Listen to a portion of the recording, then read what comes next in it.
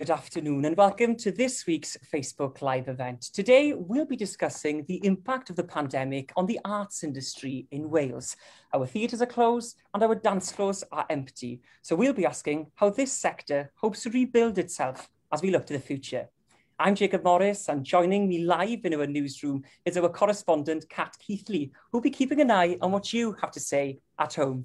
Prynawn da, Kat. Good afternoon, Jacob. Yes, I'll be taking your comments live on the Facebook page to see what you have to see what you have to say and to see what you think, and so we can answer your questions. I'm looking forward to hearing from you. So please like, react, and comment below, and use the hashtag The Show Must Go On. We'd love to hear from you. Back to you, Jacob. Thank you, Kat. Well, yes, so our all-female panel are looking forward to take part. They are taking centre stage today. Joining us is the Shadow Cabinet Minister for Culture, the Welsh Language and Education, Sian Gwenllian. Also joining us is Sarah Hemsley Cole. She's the head of We Make Events Cymru, and she's the director of SC Production. She's organised large-scale events for people like Ed Sheeran and the Stereophonics. And finally, the West End star, Sophie Evans. From the Rhondda to the West End, she's performed on various stages worldwide. She, uh, of course, has been Dorothy in The Wizard of Oz and Glinda in Wicked, but she's here with us today on CJS News. Croeso mawr to you all on the panel. So, without further ado, the show must go on. So, firstly, I'd like to come to you, Sarah Hemsley Cole. We've heard yesterday that the Green Man Festival are planning to go ahead. The Green Man Festival, of course, is the largest festival, one of the largest festivals in Wales. How do you feel about this? Well, obviously it's really exciting to get the sector moving to get people back to work to get creative energy back into our lives. You know so ultimately i'm really excited. There's been lots of announcements about other festivals outside of the uh, uh, of wales as well. So it's a really positive step. I think we've still got a long way to go. Um, it's still difficult you know the welsh government haven't said that large scale events can happen so i think there's still uh, a journey uh, to, to take and we are also um, with welsh government looking at some test events as soon as the tier status changes here in Wales so that we can start to really create that rigor and that um, the, the systems that we need to have in place to facilitate events over the summer. And, and from a commercial point of view, it's still a gamble. There's no certainty that even the large scale events that are out there at the moment will be able to happen. Uh, we don't really know, as we have seen over the last few months, what our destiny is during COVID. It, it takes us on some journeys that perhaps, you know, uh, cause some complications. So, you know, brilliantly positive news, uh, you know, but uh, with caution uh, to see how it actually can pan out in reality. Uh, thank you there, Sarah. Now, I'd like to bring you in, Sophie. Of course, you work in the industry. Your work has completely dried up over this last year. Tell us a bit how it's been over this period. Yeah, um, I don't want to be like, woe is me, but yes, it's been really difficult as someone who has all, well, in my career in the last 10 years, I've always wanted to go out into the world and all of my work is outside of my house. Um, so it was a real shock to the system when everything stopped. Um, and I think like a lot of people, I kind of enjoyed the slower pace of life for the first two, three months and thought, okay, great, I can regenerate and then go back out into the world and it's just been so much longer than I think anyone anticipated that um, the last couple of months have been a real struggle for me. I've done a lot of online things, keep myself active that way, but I still crave that, you know, going out into the world, performing live. Um, and I just can't see how it'll happen anytime soon. I know that you just mentioned there that some festivals will be going ahead, uh, hopefully this year.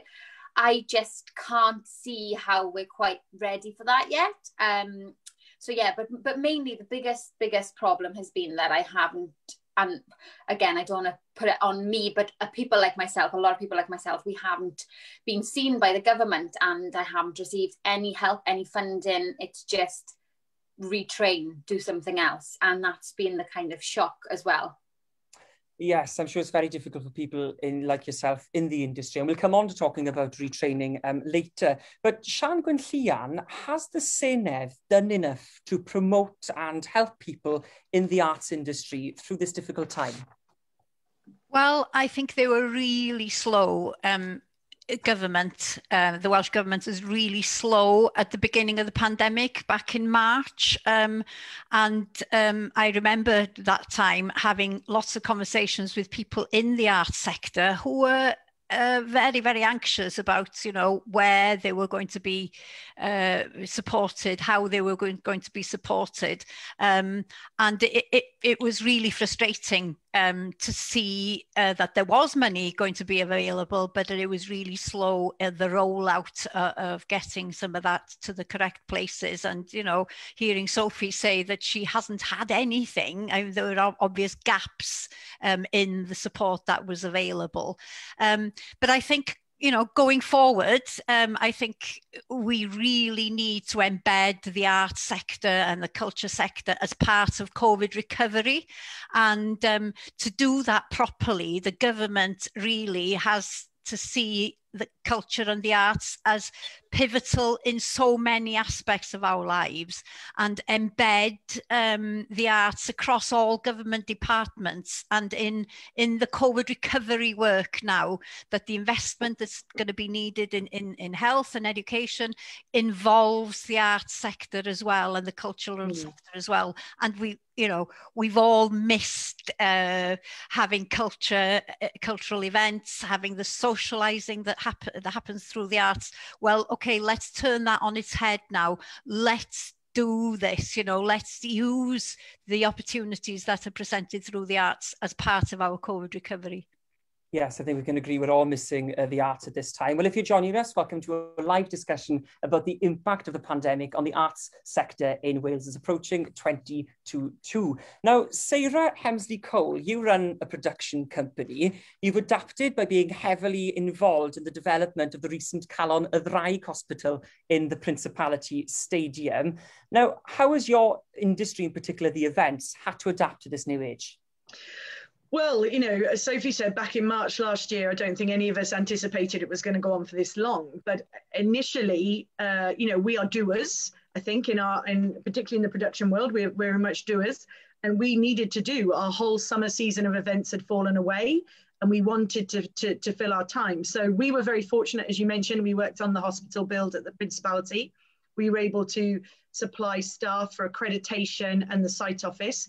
But that meant, uh, and that was a 24 hour uh, operation at that point in the early days.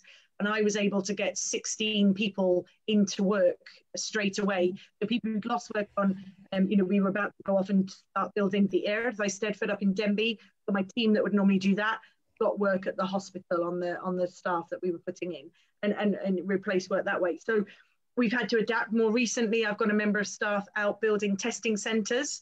You know, we're used to working with Portakabins, generators, marquees. So we're just, you know, where our sector has um, re-diversified uh, some of the hardware, like cabins, marquees, we've gone as well. And, and, and Jake site manages uh, those, those projects on behalf of a company called Sunbelt. So throughout the industry, you know, there's another um, production company in London supporting uh, the, the, morgues and, and, and all of that. And some of it's not very glamorous. Some of it is a long way from working with someone like Ed Sheeran on a festival site. But you know, we we wanted to pitch in. We're we're we're grafters. We know how to work hard, and I think we all felt a sense of responsibility to help make and do whatever we could in the pandemic, which would in turn lead to us going back to our regular jobs. Uh, yes, I'd like to bring you in here, Sophie. Now, you've mentioned uh, just now that you've had to uh, retrain and adapt, of course. You've been offered, not retrain, had to adapt. You've had to offer singing lessons, I think you mentioned briefly. But what support do you think that the people who are starting off in their careers uh, need at this current time? We know it's a very competitive industry to be in. Um, surely it's harder than ever for them to kickstart their careers at the present time. Yeah it's that's the group of people that i've been thinking about the most throughout lockdown. People that have just graduated from drama schools or are thinking about going to drama schools. And now this has happened and the industry has completely collapsed and there aren't any jobs. And and it's always as you say it's such a competitive industry anyway that i think there's a, a, a statistic that 80% of performers are out of work at one time. So that's massive. So now that it's you know a much higher percentage and there are people going into the industry with less chance and less opportunities it, it, must be so disheartening so what i would say to those people is it will get back to normal and i honestly believe when things are allowed to be um, normalized again, it'll boom and it'll explode and everything will be amazing and, and, and people will want to go out and support again. So I just think, you know, hold tight. It's been long. It's hopefully not going to be too much longer. Just hold tight, keep positive and keep yourself active, keep training, keep doing your online dance classes, online singing lessons, and keep, you know, being creative. It is hard, but we will get there. I truly believe that we will. Um, now, Sian Gwenllian, a lot say that they've in the industry that they've been forgotten about in this pandemic. Have they? Are these claims valid? Well, I think there is a sense um, that uh, they have been marginalised, um, and you know that is the challenge going forward now, um, is to bring the arts really back into into the work that needs to happen from from this point onwards. Um, I've been quite impressed, for example, with what New Zealand have been doing. For example, they've got a COVID recovery plan that involves artistic practitioners of all sorts, all sorts of performers, all sorts of artists, um, all sorts of, of, of um, creative um, practitioners. They, they are involved in the recovery in the schools. Um, they are part and parcel of how the government there is trying to get um, young people and children to express some of the anxiety that they've been through, express some of the feelings that um, that need to come out at this point, you know, and helping with with well-being. So there's a there's a crucial role there. And okay, maybe maybe the sector feels that they have been forgotten, um, but you know, I would like to see them central as a central part now of, of what we need to be developing going forward. There's a huge role for the arts to be supporting well-being, community cohesion, economic regeneration. There's so much there that needs to be tied in um, and um, I'm hoping that Plaid Cymru will be in government and that, you know, a Plaid Cymru government would um, ensure that the arts are central. Um, And just one more point, um, if I may. I think it's important as well to see the arts uh, and the, the whole sector. Um, it's an integrated sector. Each part is dependent on the other. Um, Sophie depends on having a platform to perform upon. Um, you know, the, the, the people who run the centres and have stage the events depend on people like Sophie to participate. So it's a huge network, and that network needs to be supported um, as well as, as that network supporting us in our efforts to recover.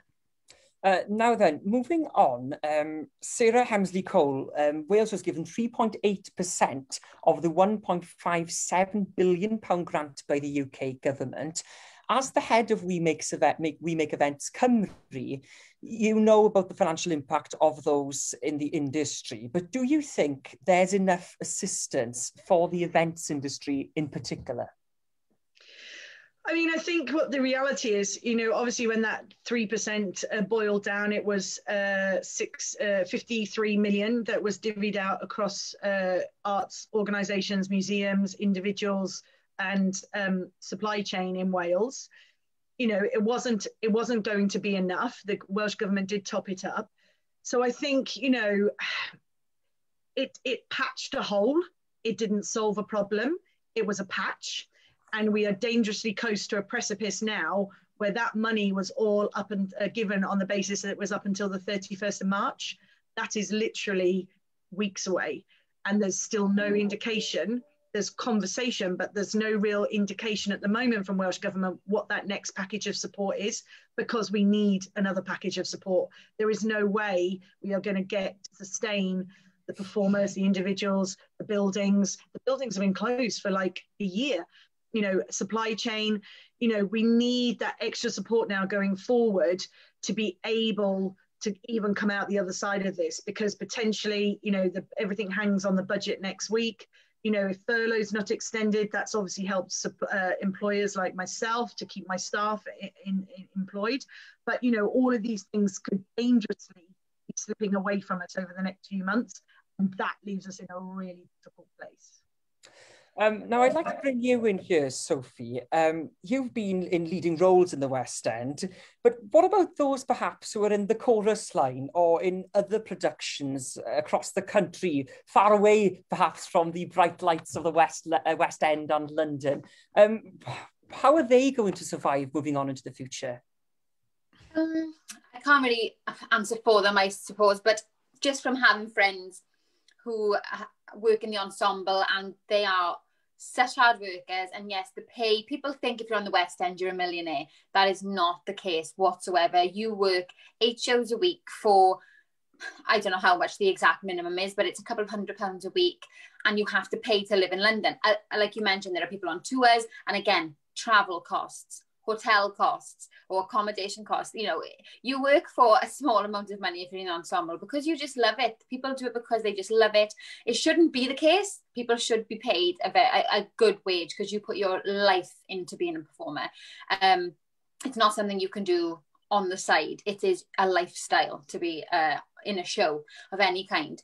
Um, so I know a lot of people that have moved home, they've moved back in with family, um, and they have retrained. I've seen a lot of people on Facebook say that they're, retra- they're training to be a teacher, they're training to be a personal trainer, always using their people skills because we are good with, with people usually.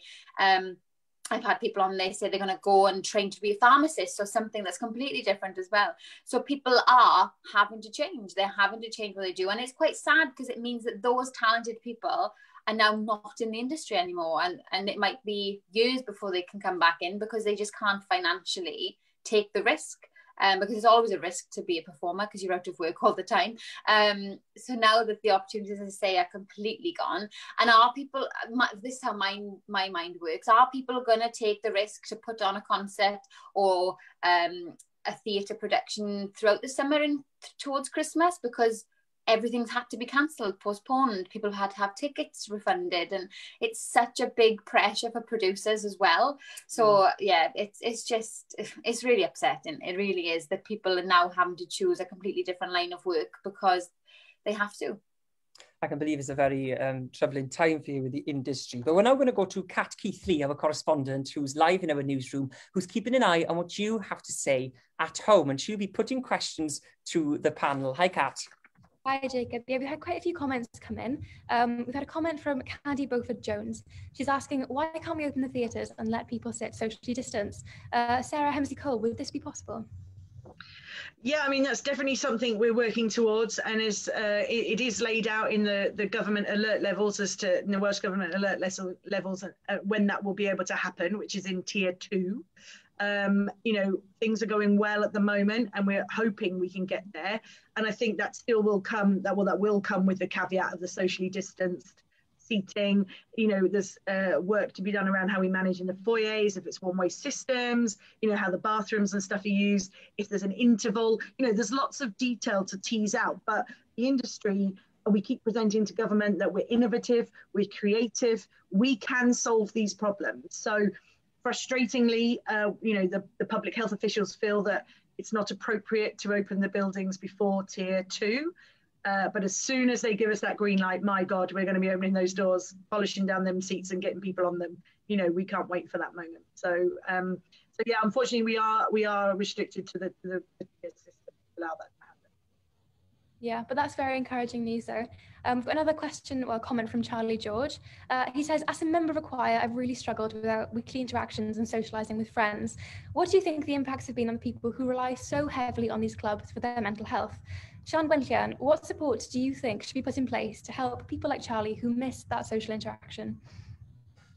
Well, you know, there has, as Sarah says, um, the creative sector has been very creative in the way that it has um, been able to offer um, okay, that socializing isn't able to happen face to face in, in, in, in physically, but there's so much that ha- is happening online um, on Zoom.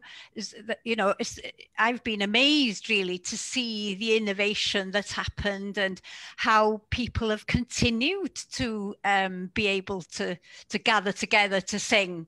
Um, so you know, yes, it's it's it's very difficult for people not to actually meet in the same place, but it is possible. So what my advice would be, you know, find a group that is kind of singing online and and join in in that way for the time being. And then I think, you know, what Sophie was saying, I think once that start things will start getting back again whoosh, well, I think we are going to see, um, you know, that excitement and that um, energy will really be there in the live um, performances that we're all looking forward to seeing again.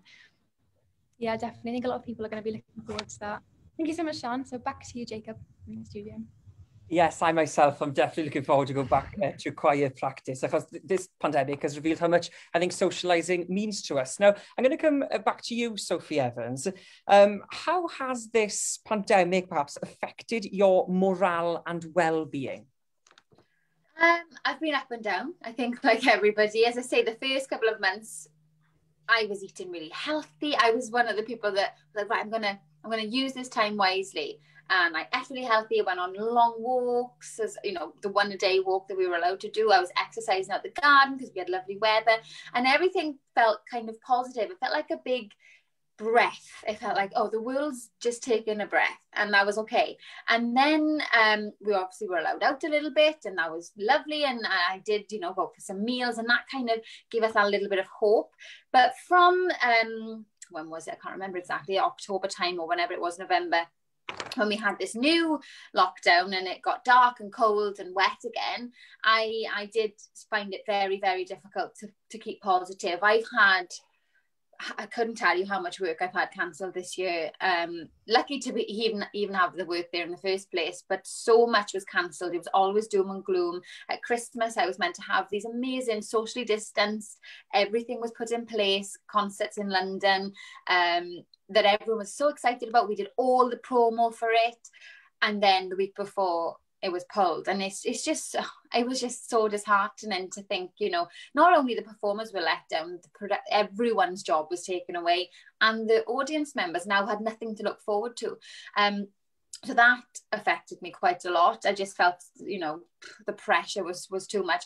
And there's only so much you can do online. Yeah online online stuff has been amazing but it's got to the point now where I feel guilty to ask people to buy my live stream concert or you know do you want to sing in lesson? Give me your money to sit sit at home and i teach you you know it, it all it's getting a bit too much. Like i feel a bit guilty about everything but obviously i'm just trying to make a living. I'm trying to keep going. I'm trying to keep myself in the public eye so people don't forget about you because people you know if you don't put your stuff out there on social media you'll you just be forgotten about. So it's been up and down but mainly positive. Um but there have been very dark days as well. I'm not i won't lie about that I think it'd be very difficult to forget about you, uh, Sophie Evans. but um, I'm going to come to uh, Sarah Cole next. Now, I'm sure we are all uh, waiting to be back in that crowded field with people in a festival. Um, when we're finally out of this very dark tunnel, then, Sarah Cole, um, how prepared is the industry for this new age post COVID? the industry's been working really hard in the background. Uh, what's been really amazing, actually, uh, we all know who each other are. There's lots of people that are competitors, but COVID has really galvanized uh, and, and created a new neutrality in the industry. And everybody, you know, arch rivals have come together to find ways forward. In Wales, we've got a really great team of people who meet regularly with Welsh Government from all, you know, grassroots music venues, theatres, festivals, promoters, um, you know, big event operators. You know, we all come together with Welsh Government officials to have regular conversation. The same thing happens in uh, all of the, the nations across the UK. Um, you know, there's various um, documents have been put together, some by the Arts Council of Wales, some by Welsh Government, some come straight from DCMS. There's new festival guidance coming out uh, very shortly. That paper is written with DCMS. You know, we can't solve everything, but we're a pragmatic um, a group of people. We always have solutions. The event industry is very heavily regulated in many ways, much um, much tighter than lots of other things that happen. So there's always a huge amount of planning that goes into a festival. It takes months and months to plan and that includes you know uh, liaison with police local authorities environmental health officers you know we you know, we're building small villages every time we have a festival you know transport networks all sorts of things so So, as an industry, there's been an amazing amount of dialogue, amazing amount of hard work, some real innovation in terms of what's practicable. Uh, you know, ultimately, when people come together in large numbers, they want to be in big crowds and in large numbers. And, you know, they want to be in mosh pits and they want to be jumping around and they want to get off their head on, you know, booze or whatever. Do you know what I mean? That's part of the experience. So, there are challenges in how we can facilitate that in a sort of post COVID world but we're never going to give up. We're never going to stop trying to make that happen. Um, yes, I think we're going to move to Kat back in the uh, newsroom there because I think we're getting quite a bit of reaction online. Um, Kat, what's the latest? Yeah, we've had loads of reaction. Uh, we've got a question from Sean William Jones. Uh, he's saying, as a recent graduate and finishing my degree online during lockdown and hearing that we should retrain and find other jobs, this is really disheartening and gutting. Um, what are the panel's views on the statement by Rishi, Rishi Sunak? Uh, Sophie, do you share the same view as Sean? Uh, is, it, is it disheartening to hear that um, you might have to retrain or other people that you know might have to retrain after years of intense musical theatre training? Yes, it is. It's really disheartening because not only have they worked extremely hard, it's so expensive to train at drama schools in London, especially and well, all over the country. You know you especially if you haven't had uh, any help you know you can have kind of um, sponsorship and things for schools but if you haven't you're left with quite a bit of money there you know that you, you're in debt with. So the fact to now think oh i need to retrain again and spend more money when i i haven't opportunity to earn any money is so disheartening. And i think what the, what people like rishi sunak um, don't quite understand about creatives in general is we are diverse and people who are performers are out of work so much that they do have other skills. They work in restaurants, they work in pubs, they work in shops, they work in schools, they do loads of things. But all of these jobs have been taken away from them. We're self employed, so it's not like we can just be furloughed from a company that we've worked for in the past. Um, so to say retrain is just so insensitive because people have other skills. They're not only trained in singing, performing, and acting, or wig wig making, or you know, uh, working backstage, being stage management, or anything. They always have something else that they can do. So to say retrain is so insensitive, in my opinion. So yeah. Can I just come in there and just endorse that completely? I think that was the completely wrong message um, to be uh, giving out from from government, um, and in fact, it should be the opposite. Should be be they should be saying, you know, that they should see the skills that you have as mm. are crucial to the way that we need to move forward now out of uh, out of the the crisis that we've all been through together the skills that are available in the creative sector are, are those are the skills that we need um, and i think it you know it's oh, I, well i must say it it says everything to me um, about the way that the tories think about the arts uh, the kind of mm. reaction that we've had um, um, from the Westminster government. Um, and I hope, you know, in Wales, we do really regard the arts as a vital part of all our lives. And um, I think the pandemic's actually shown us that. It sh it's shone a light on how important the arts are. Um, and uh, the collaboration that's happening within the sector has been fantastic as well, Sarah, as you say. Um, mm. I think the um, I've joined the um, What's Next What's Next Cymru. What's next? Yeah. the alliance that's kind yeah. of with people from all all over Wales from the different bits of the sector all meeting together online to discuss the future and I've been you know really glad to be a part of all of that yeah you're definitely definitely right it has raised a lot of awareness about the arts um, Another question from Thomas Derrick. He's asking, are vaccine passports a viable way to return to live productions and events sooner? Uh, Sian Gwenllian, would you push for these passports? Um, well, I've got so I'm in two minds.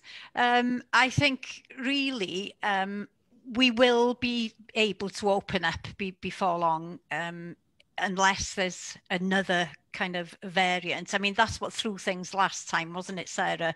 I mean, we were working yeah. towards the reopening, and I think the guidance was there. It was nearly there, and then of course we had this other variant come through. Now we've got the vaccination.